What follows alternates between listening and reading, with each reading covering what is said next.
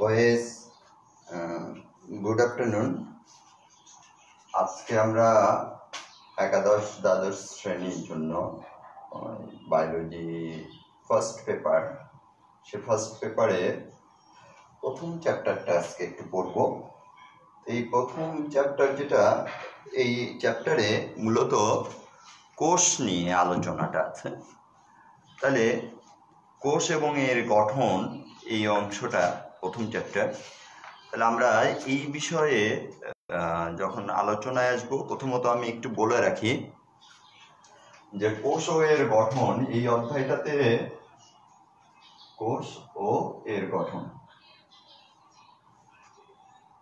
বাস, তোমরা এখানকার অনেক আলোচনাগুলো এসএসসিতে পড়ে আসছো। প্রায় অধ্যায়টার অর্ধেক পড়ে এসেছ। আর ডিএনএ এবং ক্রোমোজোমের গঠন ডিএনএ এর কার্যক্রম, এগুলো নিয়ে কিছু নিউ ইনফরমেশন আছে। সেগুলো আমরা একটু পড়ে যাব। তো প্রথম থেকে এটা শুরু করি। আর একটু বলে রাখি যে এই আলোচনাটা শুরু করার সময় আমি নানান জায়গা থেকে ইনফরমেশন আনব। ফলে তোমাদের কাছে মনে হতে পারে প্রাথমিকভাবে যে একেবারে খুব মনোযোগ না রাখলে তোমাদের কাছে যেটা মনে হতে পারে, স্যার, এত জায়গায় যাচ্ছে। আসলে এত জায়গায় যাওয়ার পিছনের উদ্দেশ্যটা হচ্ছে যে কোষ, কোষই কিন্তু আমাদের বায়োলজির একদম বেসিক বেসিক বিষয়। তাহলে কোষ সম্পর্কিত যদি ধারণা না থাকে, তাহলে বায়োলজি সম্পর্কিত তার ধারণাটা বিল্ড আপ হবে না। এবং কোর্স এমন একটা টপিক বা এমন একটা বিষয় যে এটার সঙ্গেই বায়োলজির সমস্ত জ্ঞানগুলো এটাকে কেন্দ্র করেই কিন্তু গড়ে উঠেছে। তাহলে আমরা ওই কোষ অধ্যায়গুলো পড়ার সময় সঙ্গে সঙ্গে করে অন্যান্য দিকেও যাব। তাহলে আমি প্রথমে শুরু করি যে কোষের সংজ্ঞাগুলো বা কোষগুলো কীভাবে আসছে সেগুলো নিয়ে আলোচনাগুলো প্রথম থেকে শুরু করি। তাহলে একটু ফার্স্ট আসি যে সেল এই সেল আজকে যে আমরা সেল সম্পর্কিত যে ধারণাগুলো পাই বা সেলের যে বিষয়গুলো আমরা আজকে জানছি সেই বিষয়গুলো আগে এইরকম ছিল না। তাহলে এটার হিস্টোরিটা একটু দেখব। বয়েজ আমি প্রথমত বলি, তোমাদের ইন্টার পরীক্ষার জন্য এই সেলের হিস্টোরি বা সেলের সংজ্ঞা বা সেলের যে আজকের আধুনিক ধারণা, সেই ধারণার পিছনে কত বিজ্ঞানীর অক্লান্ত শ্রম, এই বিষয়গুলো তোমাদের মানে ইন্টার পরীক্ষার জন্য কোনোভাবেই কাজে আসবে না। কিন্তু ভর্তি পরীক্ষা এবং নানান ধরনের প্রতিযোগিতামূলক পরীক্ষা, সেই পরীক্ষাগুলোতে এই ইনফরমেশনগুলো তোমাদেরকে খুব হেল্প করবে। সেখানে কিন্তু এই ইনফরমেশনগুলো লাগেও। তাহলে আমরা আগে থেকেই পড়াগুলো আমরা ইন্টারের জন্যও পড়ব। শুধু ইন্টারের জন্যই না, আমাদের প্রস্তুতি ভর্তি পরীক্ষা কেন্দ্রিকও থাকবে কিছু। কিছু, সবগুলো জায়গায় আমি দেবো না, কিছু বিষয়গুলো আনব। তাহলে আমরা যে আজকে সেল সেল কথাটা কীভাবে আসছে এবং সেলের বিষয়টা কি? সেল সেল একটা গ্রিক যদি, সেল একটা গ্রিক শব্দ, মূলটা হচ্ছে গ্রিক শব্দ, যার অর্থ হচ্ছে ফা, পা। ফা, পা। বা ফাঁকা। এই হচ্ছে সেল, গ্রিক শব্দটা এবং এই সেল নিয়ে বিজ্ঞানের যে শাখায় আলোচনা করা হয়, তাকে বলা হয় সাইটোলজি সাইটোলজি। তাহলে সেল নিয়ে আলোচিত বিজ্ঞানটা হচ্ছে সাইটোলজি। এই যে সাইটোলজি এই শব্দটা এই শব্দটা যদি আমরা একটু উৎপত্তি দেখি, তাহলে আমরা দেখব এটা দুইটা গ্রিক শব্দ থেকে এসেছে। একটা হচ্ছে লজস একটা আর একটা শব্দ হচ্ছে কাইটোস কাইটোস অ্যান্ড লজস কাইটোস কাইটোস অ্যান্ড লজস কাইটোসের ইংরেজিটাই হচ্ছে, এটা গ্রিক শব্দ, এই দুটো হচ্ছে গ্রিক শব্দ। কাইটোস অ্যান্ড লজস এটা গ্রিক শব্দ। তাহলে লজস দিয়ে ইংরেজি হচ্ছে নলেজ বা জ্ঞানকে বোঝানো হয়। আর কাইটোস শব্দটা দিয়ে আমরা ইংলিশে সেলকে বুঝাই। যার বাংলা হচ্ছে ফাপা। আর নলেজ এটার হচ্ছে জ্ঞান। তাহলে সেল সম্পর্কিত যে জ্ঞান বা ধারণা, সেগুলোকেই আমরা বলছি কি সাইটোলজি এই যে সাইটোলজি কথাটা আনলাম আমি, এই সাইটোলজি কথাটা শব্দটা উনিশ শতকের দিকে বায়োলজিতে প্রচলিত হয়। এবং মজার বিষয় হচ্ছে তাহলে উনিশ শতকের দিকে এটা বায়োলজিতে প্রচলিত হচ্ছে, তাহলে এই সাইটোলজি বিজ্ঞানের যে ধারা সেটা জনককে, জনক হচ্ছে বিজ্ঞানী রবার্ট হুক, বিজ্ঞানী রবার্ট হুক হচ্ছে এটা জনক। তাহলে রবার্ট হুক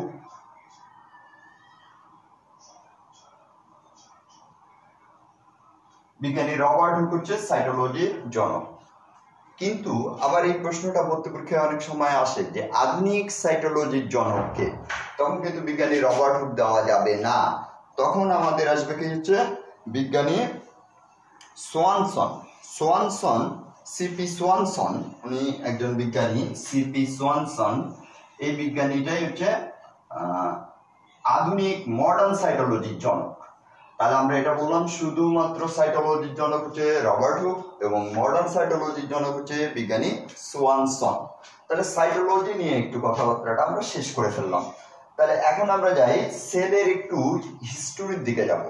প্রথমত হচ্ছে সেল কিন্তু খালি চোখে দেখার মতো কোনো বিষয় না। তাহলে সেলের এই আলোচনাটার সঙ্গে বা সেলের গবেষণার সঙ্গে প্রথম সত্য হচ্ছে যে আমাদের দৃষ্টি দৃষ্টি ক্ষমতা বাড়াতে হয়। প্রশ্নটা আছে। সেটা যেমন আমরা ক্ষুদ্র ক্ষুদ্র বস্তুগুলো দেখার ক্ষেত্রে আমাদের সামর্থ্যের যোগান দেওয়ার একমাত্র যন্ত্র হচ্ছে অনুবীক্ষণ তাহলে এই অনুবীক্ষণ যন্ত্রের হিস্টোরিটাতে আমরা আসি। জে জনসন এবং জেড জেনসন নামের দুই ভাই, তারা কাচের দোকানে কাজ করত এবং এই দুই ভাই কাচের দোকানে কাজের ফাঁকে ফাঁকে শখের বসে কিছু যন্ত্র বানিয়েছিল।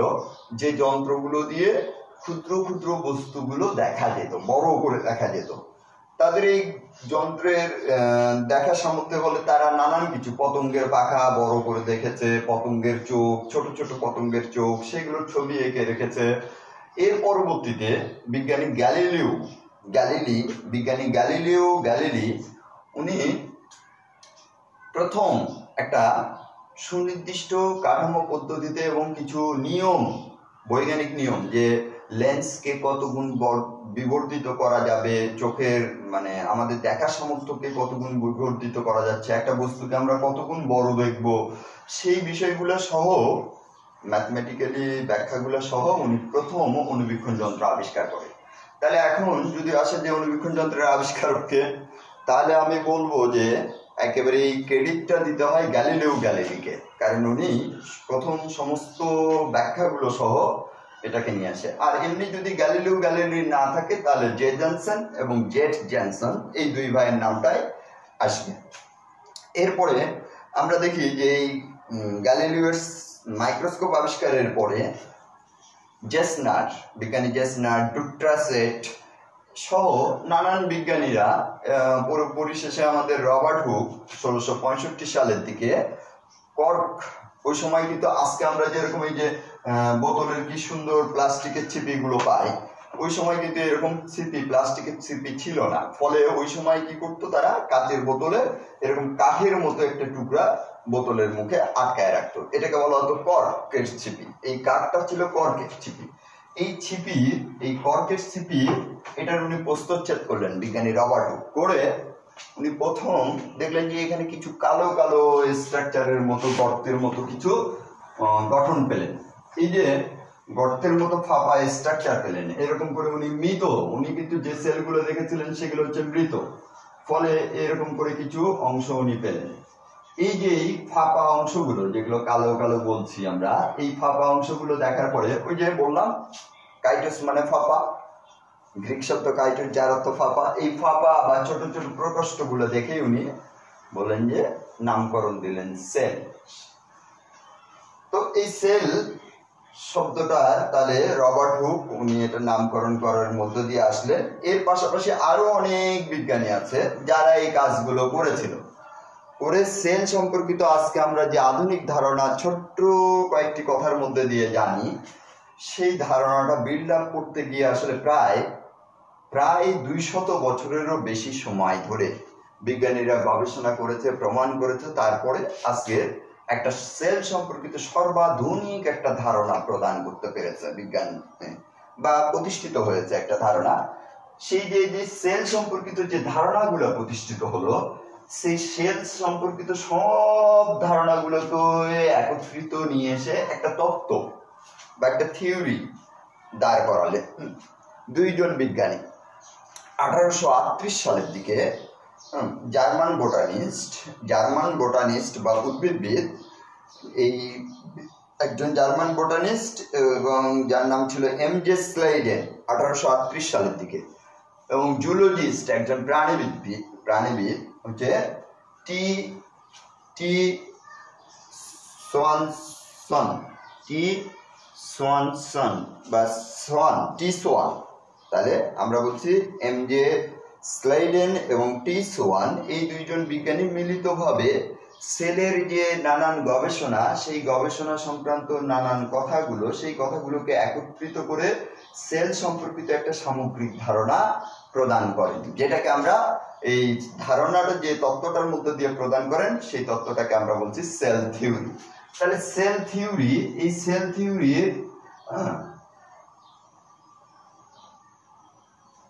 তাহলে সেল থিওরি। সেল থিওরির জনক।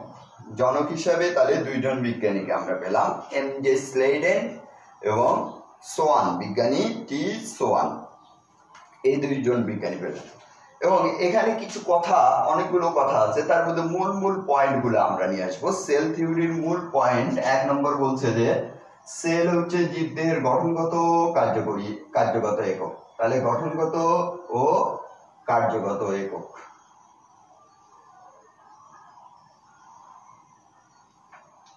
দুই। দুই নম্বর পয়েন্ট আসবে হচ্ছে সেল হচ্ছে দেহের জীবনের জীবনের মৌলিক একক। তাহলে সেল হচ্ছে জীবনের মৌলিক একক। জীবনের মৌলিক একক। মৌলিক একক। তিন নম্বর পয়েন্টে এসে বলা হলো যে সেল হচ্ছে বংশগতির একক। বংশগতির একক।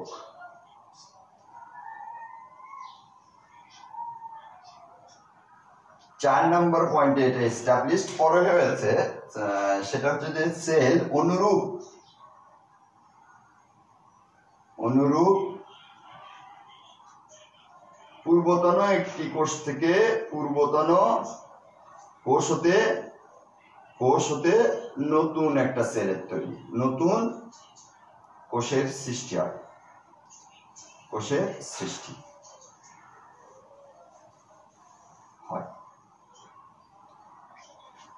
তারপরে পাঁচ নম্বরে বলা হচ্ছে সেল হচ্ছে অর্ধবেদ্য পর্দা দ্বারা আবৃত। তাহলে অর্ধবেদ্য পর্দা দ্বারা আবৃত। অর্ধবেদ্য পর্দা দ্বারা আবৃত, পর্দা দ্বারা আবৃত। এই যে পাঁচটা পয়েন্ট বললাম এই কথাগুলো আসলে সেল থিওরির মূল বক্তব্য হচ্ছে এই পয়েন্টগুলো তো আমরা এখন দেখলাম যে ওই আঠারোশো আটত্রিশ সালের দিকে উম, স্লাইডেন এবং সোয়ান এই দুইজন বিজ্ঞানী মিলিতভাবে সমন্বিত করে সমস্ত ধারণাগুলোকে এই পয়েন্ট পাঁচটা পয়েন্টের মধ্যে নিয়ে আসছেন। এগুলাকে আমরা বলছি আমরা সেল থিওরি তাহলে সেল থিওরিটার প্রশ্নটা আসলো। এখন আমরা আসি স্যার সেল থিওরি বুঝালাম, কিন্তু সেলটা আসলে কি? সেলের ধারণাটা কীভাবে বিল্ড আপ হয়েছে সেগুলো নিয়ে আমরা একটু কথা বলে নিই। প্রথমে আসি জিয়ান ব্রাচেট নামের একজন বিজ্ঞানী, বা জেইন ব্রাচেট বলে এটাকে জিয়ান না জেইন জেইন ব্রাচেট নামের একজন বিজ্ঞানী, উনি প্রথম যে কথাটা বললেন জেইন ব্রাচেট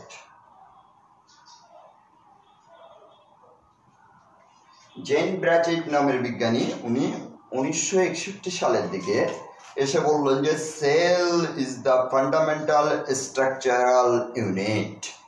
তাহলে উনি এই কথাটা বললেন যে, cell is the fundamental structural unit. তার মানে ফান্ডামেন্টাল স্ট্রাকচারাল ইউনিট সেল।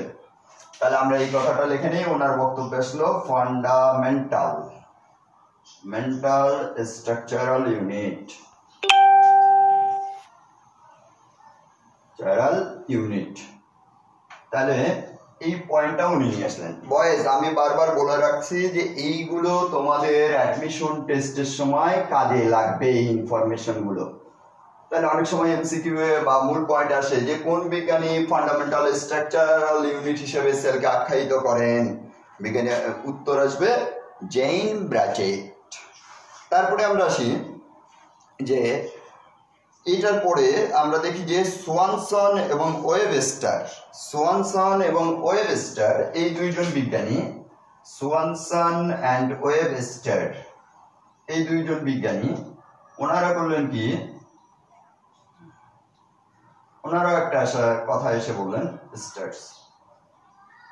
এই দুইজন বিজ্ঞানী এসে বললেন যে, সেলকে এসে বললেন যে, physical existence unit.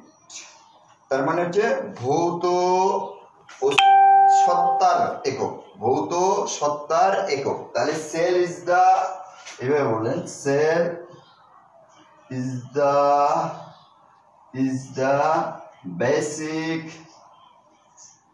unit of physical existence, tense of life তাহলে আমরা এই পয়েন্টটা পাইলাম যে ফিজিক্যাল এক্সিস্টেন্স অফ লাইফ মানে জীবনের ভৌত যে অস্তিত্ব, সেই অস্তিত্বটার মূল একক হচ্ছে সেল এটা বলছেন কে? সোয়ানসন অ্যান্ড ওয়েবেস্টার এই দুইজন বিজ্ঞানী। তারপরে তিন নম্বর, এখানে আরও একজন বিজ্ঞানী আছে, উনি এসে বললেন যে সেল শুধুমাত্র স্ট্রাকচারাল ইউনিট না সেল এর সাথে সাথে ফাংশনাল ইউনিট এটা হচ্ছে ডি রবার্টিস নামের একজন বিজ্ঞানী। উনি উনিশশো উনআশি সালের দিকে ডি রবার্টিস নামের বিজ্ঞানী, রবার্টিস। এই বিজ্ঞানী উনিশশো উনআশি সালের দিকে এসে বললেন যে cell is not only the structural unit but also functional unit তাহলে ওনার যে মূল বক্তব্যটা, সেটা অনুযায়ী হচ্ছে যে basic structural structural and functional unit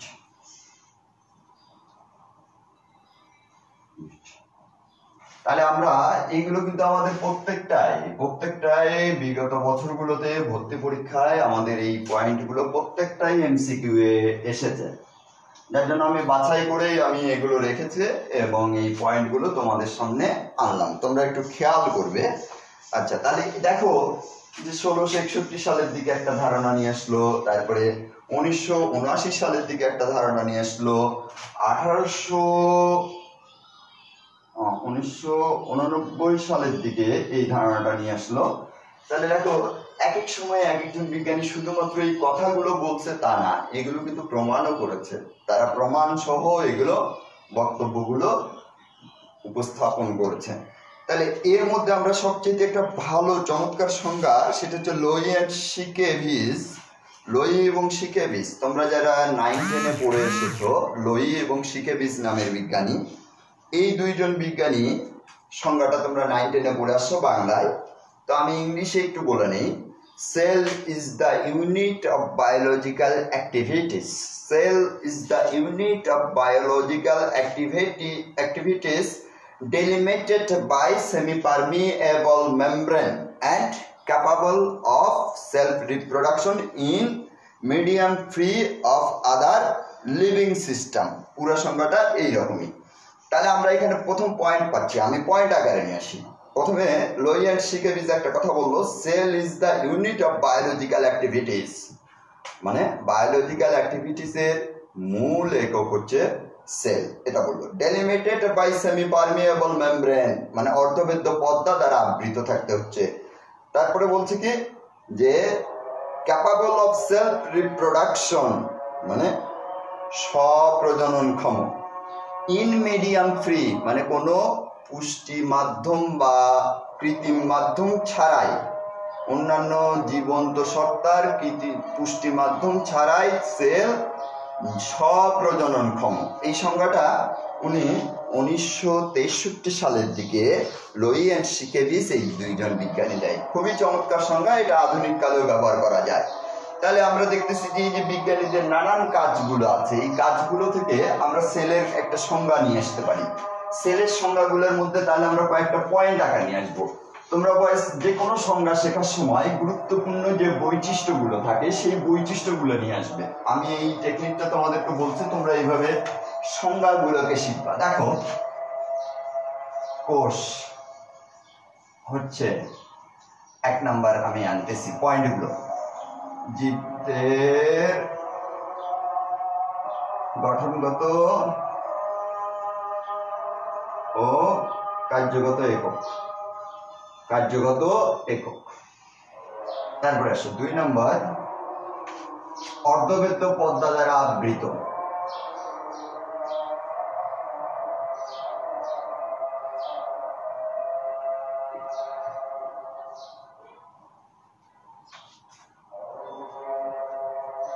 স্বপ্রজননক্ষম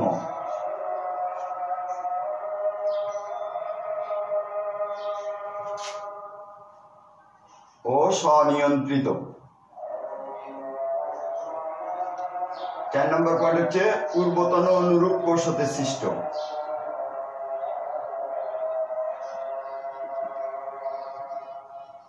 কোষ সৃষ্ট। দেখো, আমি চারটা পয়েন্ট নিয়েছি। তাহলে এখান থেকেই আমি সংজ্ঞা দিতে পারি। এই চারটা মূল বৈশিষ্ট্য, কোষ সম্পর্কিত মূল কথা হচ্ছে এই চারটা কথা। এই চারটা কথাকে একত্রিত করে আমি চমৎকার সংজ্ঞা নিয়ে আসতে পারি। যেমন ধরো, এখানে বলেই দিই আমি। কোষ হচ্ছে জীবদেহের গঠনগত কার্যগত একক, যা অর্ধবেদ্য পর্দা দ্বারা আবৃত। তারপরে কমা দিয়ে স্বপ্রজননক্ষম ও স্বনিয়ন্ত্রিত এবং পূর্বতন অনুরূপ আরেকটি কোষ হতে সৃষ্ট। দেখো বয়স তাহলে আমরা যে কোনো বিষয়ের গুরুত্বপূর্ণ যে বৈশিষ্ট্যগুলো আছে, সেই বৈশিষ্ট্যগুলো একসাথে করে আমরা সংজ্ঞা দিতে পারি।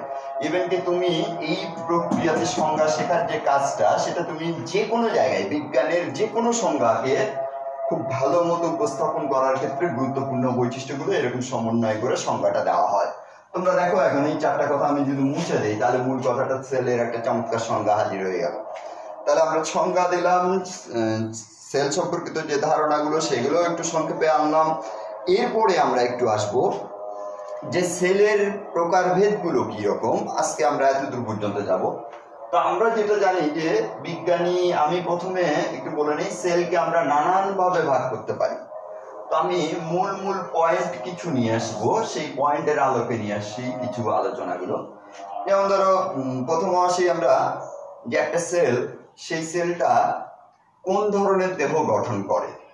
সে কি উদ্ভিদ দেহ গঠন করে না প্রাণী দেহ গঠন করে? তার উপর ভিত্তি করে আমরা সেলকে দুই ভাগে ভাগ করতে পারি।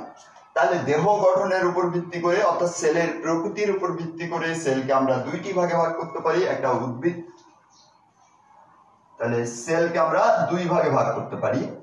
সেল, একটা হচ্ছে প্লান্ট সেল আর একটি অ্যানিমাল সেল অ্যানিমাল সেল তাহলে প্লান্ট সেল এবং অ্যানিমাল সেল এই দুই ভাগে ভাগ করতে পারি। সংজ্ঞায় যদি আসি, তাহলে বলব কি, উদ্ভিদ দেহ গঠনকারী কোষগুলো হচ্ছে উদ্ভিদ কোষ, প্রাণী দেহ গঠনকারী কোষগুলো হচ্ছে প্রাণী কোষ। এগুলো আমরা আগেই পড়েছি। আমি জাস্ট একটু ধারণাগুলো আনছি। যে জায়গায় সবচেয়ে বেশি আলোচনার দরকার পড়বে, সেটা আমি আনব। তারপরে আসি, একটা কোষের মধ্যে ক্রোমোজোম কি রকম আছে? ক্রোমোজোম কতগুলো আছে? ক্রোমোজোমের পরিমাণটা কি রকম সেগুলোর উপর ভিত্তি করে। অর্থাৎ ক্রোমোজোম সংখ্যার উপর ভিত্তি করে আমরা সেলকে দুই ভাগে ভাগ করি। তাহলে সেই ক্ষেত্রে ক্রোমোজোম সংখ্যার উপর ভিত্তি করে এই সেল হচ্ছে দুই রকম। একটা হচ্ছে হ্যাপ্লয়েড আর একটি ডিপ্লয়েড এই জায়গায় এই হ্যাপ্লয়েড, তাহলে এটা হচ্ছে chromosome number. Chromosome number. Depending chromosome নাম্বারের উপর ভিত্তি করে এটা সেলকে আমরা দুইটা ভাগে ভাগ করি হ্যাপ্লয়েড এবং ডিপ্লয়েড এখন আমরা এক কথায় এরকম করে করে বলি, এক সেট ক্রোমোজোম থাকলে সেটাকে হ্যাপ্লয়েড বলা হয়, দুই সেট ক্রোমোজোম থাকলে সেটাকে ডিপ্লয়েড বলা হয়। অর্থাৎ ক্রোমোজোম যদি এক সেট থাকে, তাহলে সেটা হ্যাপ্লয়েড আর দুই সেট ক্রোমোজোম থাকলে আমি বলছি ডিপ্লয়েড এখন স্যার সেট আবার কি? এখানে তো বোঝা মুশকিল। আচ্ছা আমি একটা সহজ ভাবে দেই। একটা হিউম্যান বডিতে একটা মানুষের বডির যে, আমাদের দেহের মধ্যে যে কোষগুলো আছে, দেহ কোষ, সেই কোষগুলোর মধ্যে আমরা জানি কতটি ছয়চল্লিশটি। অর্থাৎ ছয়চল্লিশটি ক্রোমোজোম আছে। ছয়চল্লিশটি ক্রোমোজোম। আচ্ছা বয়স এই ছয়চল্লিশটি ক্রোমোজোম, আমরা এটাও জানি যে এখানে তেইশ জোড়া ক্রোমোজোম আছে। মানে এই ছয়চল্লিশটা ক্রোমোজোম আসলে তেইশ জোড়াতে থাকে। তেইশ জোড়া। এখন স্যার, তেইশ জোড়া থাকে কেন? জোড়া না থেকে তো বেজোড়ও থাকতে পারতো। ইম্পসিবল বেজোর থাকা। আমি একটু এখানে আলোচনাটাতে নিয়ে আসি এরকম করে দেখো বয়স এই জায়গায় একটা ক্রোমোজোম আঁকিয়েছি। এই এই ক্রোমোজোম। ধরলাম এখানে আর একটা ক্রোমোজোম আছে। এই, তারপরে এখানে আর একটা ক্রোমোজোম। এগুলো অবশ্যই জোড়ায় জোড়ায় থাকবে। তাহলে দেখো এই জোড়ার প্রত্যেকটা, জোড়ার এক একটা দেখো, এখানে আমি এই ক্রোমোজোম জোড়টার কথা বলি। একটা যদি মা থেকে আসে আর একটা বাবা থেকে আসবে। এবং এটার মধ্যেও একটা মা থেকে আসলে আর একটা বাবা থেকে আসবে। এখানেও দেখা যাচ্ছে একটা মা থেকে আসে, একটা বাবা থেকে আসে। তাহলে তেইশ জোড়ার মধ্যে তেইশ জোড়া, এই তেইশ জোড়া, অর্থাৎ তেইশটা আসে বাবা থেকে, এটা ফাদার তেইশটি ক্রোমোজোম হচ্ছে ফাদার আর এইদিকে তেইশটি ক্রোমোজোম আসে মাদার থেকে। এবং মজার বিষয় হচ্ছে, এই যে দেখো, প্রত্যেক জোড়া ক্রোমোজোমের, এইটা যে রকম দেখতে, ঠিক একই রকম আকার আকৃতি এবং একই রকমের জিন নিয়ে এই পাশে থাকা ক্রোমোজোমটাও আছে। অর্থাৎ বাবার এক, ধরলাম যে এটা এক নম্বর, বাবার এক নম্বর ক্রোমোজোম, সেটা যেরকম হয়, মারও এক নম্বর ক্রোমোজোমটা সেম টু সেম হবে। মানে একই রকমের জিন নিয়ে গঠিত হবে এবং একই রকম আকার আকৃতির হয়। তাহলে আমরা দেখতেছি তেইশ জোড়ার প্রত্যেকটা থেকে একটা একটা করে নিই আমি। ধরলাম যে বাবারটা নেই। বাবারটা নিলাম, মারগুলো মুছে দিচ্ছি। তাহলে দেখো এরকম করে যদি শুধু বাবারটা, জোড়ার প্রত্যেকটা থেকে একটা একটা করে মুছে দিলাম, দিলে পরে এই যে শুধু বাবার ক্রোমোজোমগুলো নিয়ে একটা সেট হয়। ধরলাম আমি ওই সেটটাকে, আমি এটাকে এই তেইশটা এরকম সেটটাকে আমি এফ দিয়ে চিহ্নিত করলাম, আর এখানে এই তেইশটাকে এম দিয়ে চিহ্নিত করলাম। এই এফ যেটা চিহ্নিত করেছে, এটা হচ্ছে বাবার হ্যাপ্লয়েড এটাই হচ্ছে হ্যাপ্লয়েড এটাও হ্যাপ্লয়েড এই হ্যাপ্লয়েড তাহলে এটা হচ্ছে সিঙ্গেল সেট আর ডাবল সেট হলে দুটা ক্রোমোজোমই একসঙ্গে, পাশাপাশি থাকা দুটা ক্রোমোজোমই একসঙ্গে হলে সেটা হচ্ছে দুইটা সেট আর একটা সেট বলতে আমরা এইরকম প্রত্যেকটার একটা একটা করে নিয়ে, একটা সেট তাহলে এই একটা সেটগুলোকে বলছি আমরা হ্যাপ্লয়েড আর দুইটা সেট যেটা থাকে সেটা বলছি আমরা ডিপ্লয়েড এখন তোমরা ম্যাক্সিমাম ক্ষেত্রে জেনে থাকবা যে শুক্রাণু বা ডিম্বাণু সেটা হচ্ছে হ্যাপ্লয়েড কিন্তু একটা ব্যতিক্রম এখানে আছে। এই ব্যতিক্রমটা একটু জেনে রাখো তোমরা যে শুক্রাণু এবং ডিম্বাণু এটা তো হ্যাপ্লয়েড হয়, কিন্তু একটা ব্যতিক্রম আছে, পার্থেনিয়াম আর্জেন্টে না টেটাম, পার্থেনিয়াম আর্জেন্টেটাম নামের একটা উদ্ভিদ আছে, যার ডিম্বাণুটা হয় ডিপ্লয়েড। পার্থেনিয়াম আর্জেন্টেটাম। তাহলে আমরা এই পার্থেনিয়াম আর্জেন্টেটাম, এটা আমি একটু লিখে রাখি, পার্থেনিয়াম পার্থেনিয়াম আর্জেন্টেটাম আর্জেন্টেটাম। এর যে ডিম্বাণু, সেই ডিম্বাণুটা ডিপ্লয়েড হয়। এটা একটা ব্যতিক্রম, কিন্তু সবার, বাকি সবার ডিম্বাণুই সচরাচর কি হয়? হ্যাপ্লয়েড হয়। তাহলে আমরা এটা বুঝলাম। আর হ্যাপ্লয়েডের আরেকটা উদাহরণ আমি নিয়ে আসি যে, হ্যাপ্লয়েড, ডিপ্লয়েডকে কেন্দ্র করে এই উদাহরণগুলো নিয়ে আসি। একটু আমরা অনেক ক্ষেত্রে এই উদ্ভিদ বিজ্ঞান পড়ার সময়ে আমরা কয়েকটা জিনিস আমরা এখান থেকে ক্লিয়ার হতে নিতে পারি। যেমন ধরো, আমাদের দেহে দেহকোষ এই দেহকোষগুলো সবগুলি হচ্ছে ডিপ্লয়েড আমাদের দেহকোষ হচ্ছে ডিপ্লয়েড অর্থাৎ বডি সেল সেটা ডিপ্লয়েড তাহলে আমি এখানে একটু লিখে রাখি বডি সেল এটা হচ্ছে ডিপ্লয়েড ডিপ্লয়েড মানে টু এন্ড দিয়ে প্রকাশ করা হয়। আচ্ছা যদি এইরকম আমাদের বডি সেলটা ডিপ্লয়েড হলে আমাদের এই বডি সেলের যে দশাটা, অর্থাৎ আমার বডিটা যেটা দেখা যাচ্ছে, এটাকে বলব আমরা স্পোরোফাইটিক অর্থাৎ আমার দেহটা যেটা দৃশ্যমান হচ্ছে সেই দৃশ্যমান দেহটা আমার ক্ষেত্রে এটা হচ্ছে স্প্রোফাইটিক কারণ আমার ক্রোমোজোম বা সেলগুলো সবগুলো হচ্ছে, আমার বডির সেলগুলো সবগুলো হচ্ছে ডিপ্লয়েড তাহলে আমার এই ফেসটা এই দশাটা এটাকে বলা হয় স্পোরোফাইটিক স্পোরোফাইটিক দশা। তোমরা অন্যান্য জায়গায় বারবার এগুলো পাবে স্পোরোফাইটিক জীবনচক্র পড়ার সময় এগুলো আমরা পাবো। তো আমরা এই ধারণাটা এই জন্য বলছি, তাহলে এটা হচ্ছে স্পোরোফাইটিক আর যদি বডি সেলটা বডি সেল এইটা হ্যাপ্লয়েড হয়, তাহলে সেটাকে বলব গ্যামিটোফাইটিক গ্যামিটো ফাইটিক ফাইটিক ফেজ যেমন এখন গ্যামেটোফাইটিক ফেজের মধ্যে কে কে আছে? গ্যামেটোফাইটিক ফেজের মধ্যে আমরা যত মস মস পাবো মানে ব্রায়োফাইটগুলো, তারপরে শৈবাল এদের যে দেহটা দেখি, ছত্রাক মানে ব্যাঙ্গের ছাতা, ছত্রাকের একটা উদাহরণ, তোমরা মাশরুম যেটা মাশরুম যেটা দেখা যায়, এই মাশরুম যে বডিটা আমরা খাই, এইগুলোর কথা বলছি আমরা বডিটা খাই ওটা না, যেটা মাশরুমের হচ্ছে মাইসেলিয়াম আছে, সেই মাইসেলিয়াম এগুলো সবগুলো, অর্থাৎ এই এদের যে মূল দেহটা, সেই দেহর কোষগুলো হচ্ছে হ্যাপ্লয়েড তাই ওদের মূল দেহটাকে আমরা বলি গ্যামেটোফাইটিক ফেস এই দুটো সংজ্ঞা আমরা একটু মাথায় রাখব। পরবর্তীতে আমাদের যথেষ্ট হেল্প করবে জীবনচক্র পড়ার সময়। তাহলে হ্যাপ্লয়েড ডিপ্লয়েডের সঙ্গে এই পড়াটা আমাদের হয়ে গেল। এরপরে আমরা আসি নিউক্লিয়াসের উপর ভিত্তি করে। নিউক্লিয়াসের উপর ভিত্তি করে বিজ্ঞানী ফর্ড উনিশশো সালের দিকে। তাহলে আমি বললাম কি নিউক্লিয়াসের উপর ভিত্তি করে বিজ্ঞানী ফর্ড উনিশশো সালের দিকে যত কোষ আসবে সেই কোষগুলোকে দুইটা ভাগে ভাগ করলেন। তাহলে বিজ্ঞানী ফর্ড নিউক্লিয়াসের প্রকৃতির উপর ভিত্তি করে উনিশশো উনপঞ্চাশ সালের দিকে সমগ্র কোষগুলোকে দুইটি ভাগে ভাগ করলেন। একটা ভাগে উনি বললেন যে, prokaryotic prokaryotic cell prokaryotic cell.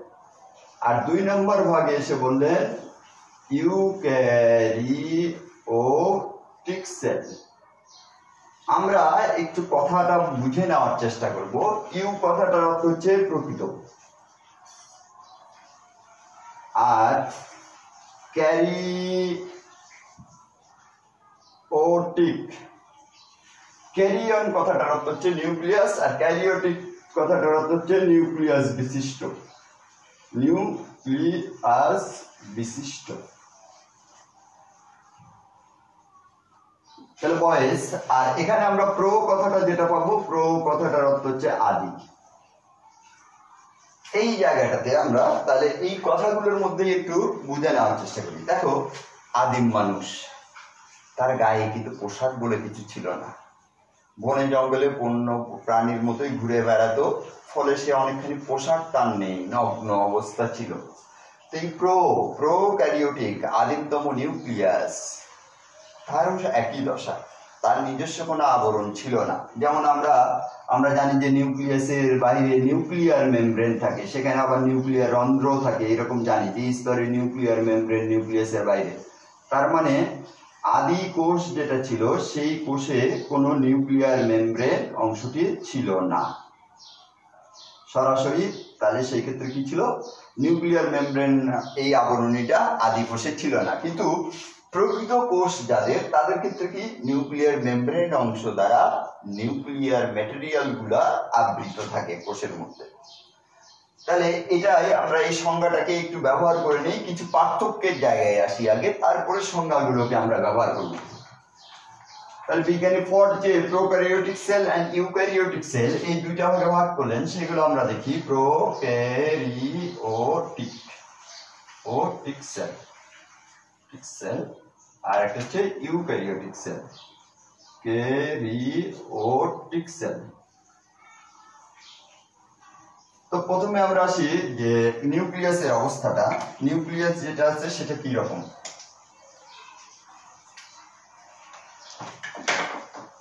তাহলে এখানে হচ্ছে ন্যাক্ট নিউক্লিয়াস, ন্যাক্ট ন্যাক্ট নিউক্লিয়াস মানে নগ্ন নিউক্লিয়াস।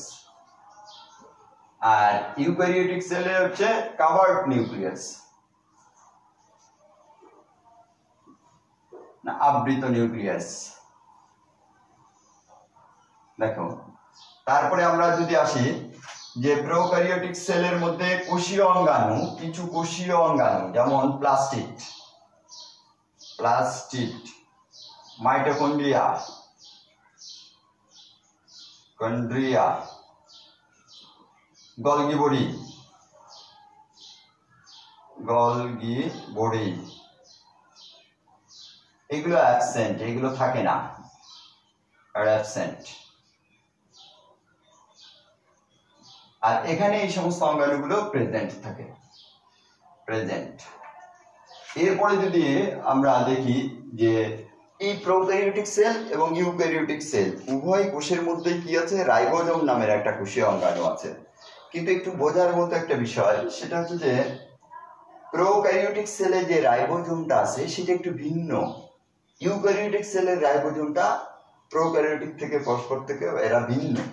তো বিজ্ঞানীরা আমরা এই যে নানান বস্তু তলানি ফেলি, যেমন ধরো দুধ নর্মাল দুধকে যদি আমরা প্রচণ্ড জোরে ঘুরাই, তাহলে দুধ থেকে মাখন আলাদা হয়ে যায়। তাহলে আরও বেশি জোরে যদি ঘুরাই, অনেক বেশি জোরে, যেমন পঁচিশ হাজার পার মিনিটে যদি পঁচিশ হাজার বার একটা ঘূর্ণনের মধ্যে রাখতে পারি, তাহলে কিন্তু কি হবে? দুধ থেকে যে ডিএনএ ম্যাটেরিয়ালগুলো আছে ডিএনএ আর এগুলো আলাদা হয়ে যাবে।